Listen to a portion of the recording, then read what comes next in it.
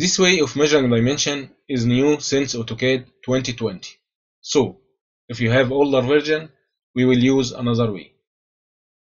To activate Erase command, go to Home tab, Modify panel, click in the Erase icon. Or, the shortcut or command alias is to write E and press spacebar or enter. Now I'll hide the ribbon.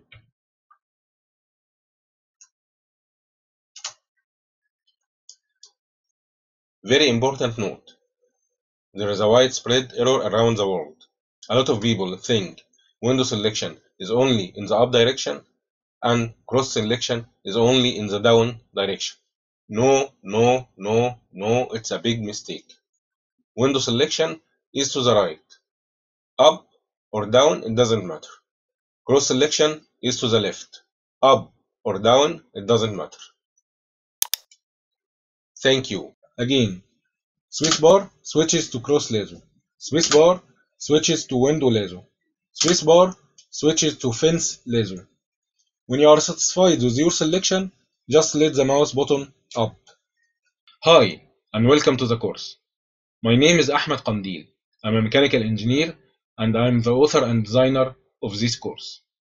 I used AutoCAD since 1993 and since 2002 I teach and help engineering students to become professional AutoCAD users. I designed this course based on my experience in dealing with AutoCAD students for almost 20 years now, and I try to make every little detail to help you learn and practice. I choose a group of gradual examples from easy beginner example to CAD professional example. In this course, every mouse click you can see and hear. You can see on the screen if I clicked right click, left click or middle mouse button. Every keyboard stroke you can see and hear.